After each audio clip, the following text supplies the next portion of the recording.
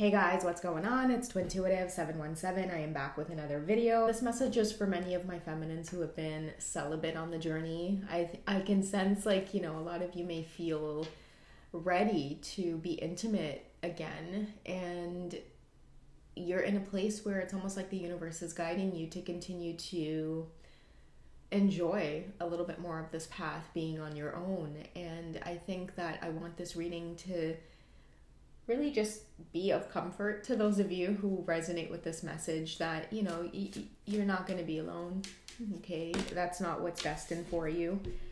Um, you know, reaching outward, I think, uh, from the Manara Oracle Tarot here, or the Oracle deck, sorry, um, you know, reaching outward, and she's even got the tissue there. Um, in the olden days, the way a woman would want a man to know that she wanted him to court her was she would drop her handkerchief and he would, you know, pick it up and ask her if she dropped it, and it would provide an opportunity for them to talk and flirt and exchange energy. And so I feel, again, with this card reaching outward, is that many of you energetically are wanting to experience intimacy. You want to have sex again. You want to know what it's like to feel a man or a woman's arms around you again. Take it how it resonates. Um, but you know, this is for the most part where the feminine collective um, is at. And it's interesting here that she's on the balcony and she's in this castle here because it speaks of the celibacy that many of you have embarked on for probably like the last year or so, I want to say. Um, and yeah, you guys are just feeling this uh, sense of being ready for more. You're wanting more. Now, at the same time, if you're on this whole twin flame ride, of course, you can feel your counterpart's energy coming through. But I'm feeling that a lot of you are very open as to whether or not this experience um, has anything to do with your counterpart. Because what I'm seeing is that many of you who went celibate, your energy became very clear. There wasn't anything else that was blocking your energy or creating any sort of emotional disturbance. And so, because you're very clear on yourself and your expectations of who it is you are. I feel that many of you have learned what it means to be sovereign and forge your own path. And for a lot of you, um, being a twin flame doesn't necessarily mean that it has anything to do with your counterpart because I'm seeing that what a lot of you are feeling is that if you can't be with your counterpart right now, you're not wanting to hold yourself back from being open to the things that are ready to come your way because I feel that for many of you, your masculine was like this block on your path without you realizing it. Um, and many of you are starting to see that, you know what, with or without this physical person, it doesn't mean I'm not a twin flame or I'm not on a twin flame journey. I think that for many of you, you're starting to see that being a twin flame is someone who is experiencing awakening to romantic love, to sensual love, to erotic love, um, just on a deeper level. It's what your soul chose to come to experience here on earth. You know, a lot of people come to this planet and like a relationship or love or experiencing that happy feeling of like hitting the jackpot where you just find true love on this earth. For some people, they don't really care about that experience, right? Because maybe they've traveled here so many times already and they've been there, done that. They want to know what it's like to build an empire. They want to know what it's like to be an inventor. They want to know what it's like to discover things. Um, there are different souls here for different purpose purposes. Okay, so with this divine feminine um, or this group of or collective that I'm channeling for, I feel that your perspective um, has really opened up, and being celibate can also be paired with uh, the hanged man energy because I feel that being in that like upright position, you've certainly made yourself unavailable to other people's energy, um, especially on like a sexual level or an intimate level, and it's made you grow uh, spiritually in ways where you've certainly become more creative, and again, your perspective on life overall um, has deepened, and this is what often um, gets referred to as like moving up in the dimension. So you start seeing things on a fifth dimensional level. And that's all it is guys. It's like your perspective changes or you see a little bit more deeper into the world or yourself. And you start having these like really profound emotions where you're just able to move along life and ha- handle challenges a lot more smoothly. And there's an openness to struggle um, is what i'm feeling. There's an openness to whatever happens in your lifetime because when you start embodying this knowledge of just uh, you know being on a twin flame journey having this spiritual experience maybe the word twin flame is like really triggering for some people um, specifically if you're experiencing separation or if you haven't connected with your counterpart in the physical for a really long time you can if it makes you feel better, just dismiss the whole twin flame label if it makes you feel uncomfortable and know that you're a sovereign being having a spiritual experience. And this person just happened to trigger that experience, okay? And I feel like a lot of you are shifting in this way. You are becoming more open to experiencing what is meant for you to experience. And it's it was scary to get to that place because I think for a lot of you it felt like you were letting go, um, which in a sense you you are, but you're not shutting it off you're letting it go. When you let things go you allow it to be transformed and if it makes it way its way back to you um, it's just part of that experience for you. But you will never know unless you fully surrender and you're able to be open to the highest good coming your way okay? So yeah definitely the feminines are feeling very flirtatious. They are wanting to invite um, other energies into their space. But the divine feminine has so much clarity right now in her high priestess energy and in the empress energy that whoever is entering her space the signal the energy will be very clear. This feminine is not about to waste time. She's done a lot of growing and she spent way too much time on her own to entertain um like jester energy okay? Fool energy page energy. Um i think with her bosoms out there too it speaks like of a very mature woman. Um like i am hearing the word like developed so maybe like a lot of self-development a lot of you have really mastered certain aspects of yourself and when you are ready to attract a suitor i really do feel that it's going to be someone who um, what's going to end up happening is like the sexual spark or the attraction is going to be off of mutual um, like passions that you guys have. Do you know what I mean? It's not going to be superficial where you're attracted to their looks or you're attracted to what they do for a living, like nothing like that. It's going to be more of like you guys are really passionate about the same worldly things. You are passionate about wanting to affect the world in some way and that's really attractive to you divine feminine in order to like meet with masculine energies that um I want to say like they're stimulating a part of your creative self and and there's a lot of sexual energy around it for some reason. When it comes to um, attracting suitors okay? You are attracting very mature men that are coming your way men that are very ready uh, to make a commitment who aren't afraid of a commitment. And what i'm getting with that energy as well divine feminine is that the energy you're giving off is that you're attracting men who are mature in a sense where it's like they're not worried as to whether or not things are going to end or whether they're going to get hurt or whether they're going to hurt you like they're not coming from that wounded space.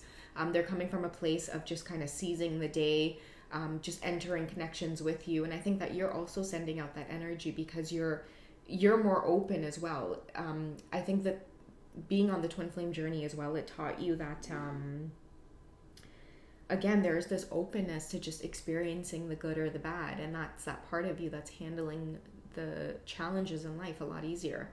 Um, I'm gonna get some more messages here for the Divine Feminine Collective from uh, like just the energy around this reaching outward card here. Okay, what does the universe want you to know to expect? Like what's coming your way?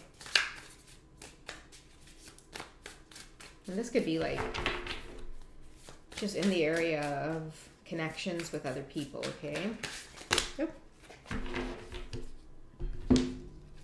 yeah, that's that energy I'm talking about here as well with um like a very mature man, maybe someone that's like very caring.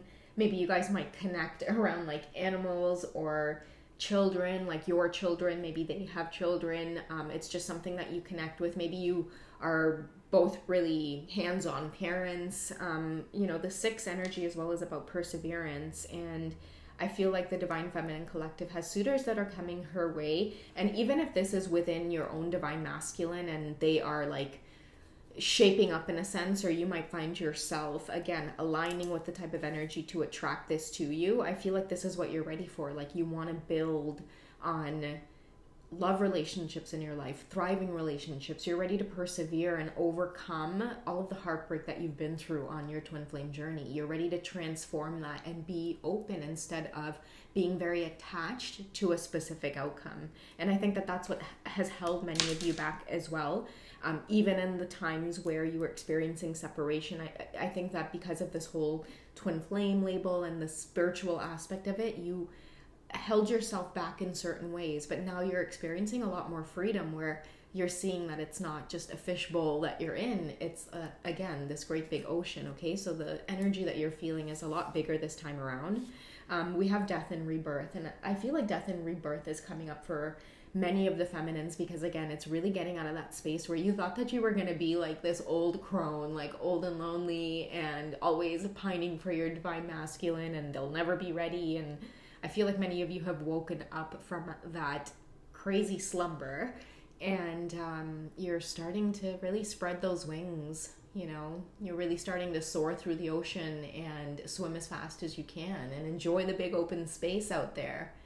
You know, for earth signs, you're just ready to charge ahead in an open field.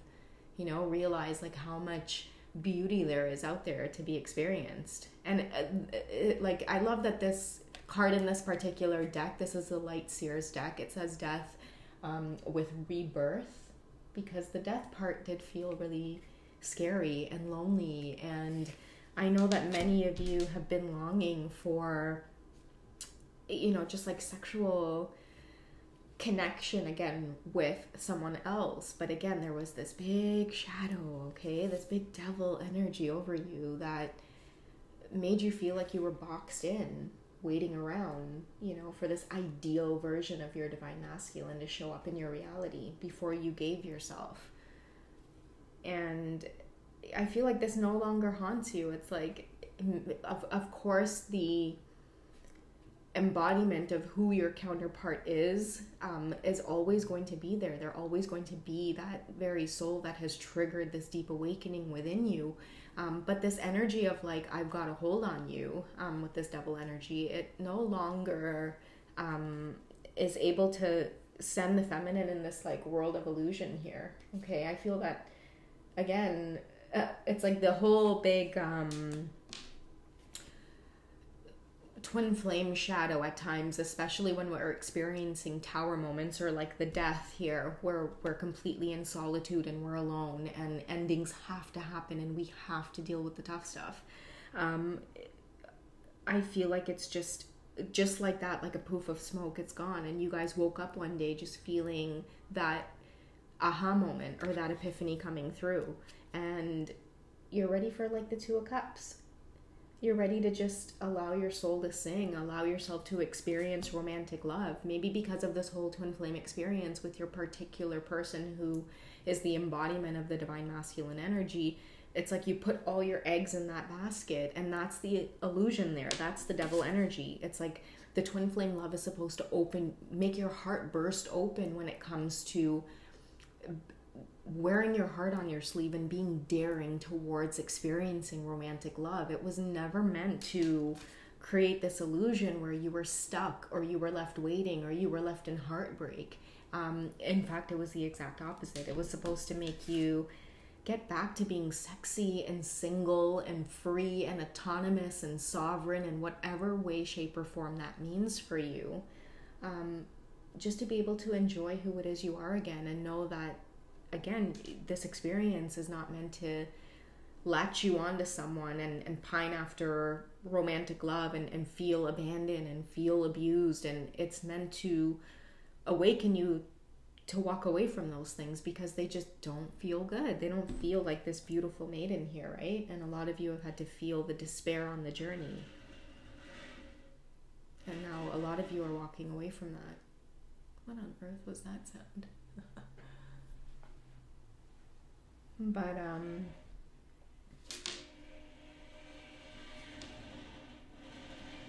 on guys. And I feel that maybe it's a feeling that you guys have been missing for a really long time. Um, so I think like you know the energy behind this reading is to let you guys know that you're fully taken care of and you're supported by the universe. And if a lot of you are feeling that bit of loneliness or just wanting to feel the touch of intimacy again in your life, I feel like the universe is letting you know, you know, it's there, it's right around the corner, it's coming. All you have to do is invite it in, but you have to be, um, you know, fully trusting of it to enter into your space, okay? So, what's the best course of action for the divine feminines who are in this energy right now? Oh, okay. I'm going to take this one here and this one. So, we have a major arcana, which is the star card that's coming up. Okay, and the message on it says, Look to the future with hope and optimism, the power of faith to move mountains, happy changes that bring relief from challenging times. I love that because it's like no pun intended about you guys wanting to feel the touch of someone again. Okay, so happy changes that bring relief from challenging times. I think it's time for you guys to start setting your intentions and looking onto that star at night and making that wish that says that you're open to receiving love in the highest good, in the highest form of unconditional love. And don't worry about what your masculine is doing or where they're at on their journey. The more you can detach from an outcome, the more pleasantly surprised you will be on this journey. Okay, and again, especially if you guys resonate with twin flames, you're meant to experience great love. Okay, so we have the Six of Spring ending off this reading. Wonderful news that's on its way, smart choices that bring rewards, success and public recognition. Okay, and I think I think that public recognition part too is just it's it's allowing the world to see you happy again, divine feminine, and I think that whatever is in store for many of you at this time regarding you and your divine masculine, the universe is wanting change to be orchestrated in a way where you guys can feel abundant again. You can feel sexy. You can feel wanted.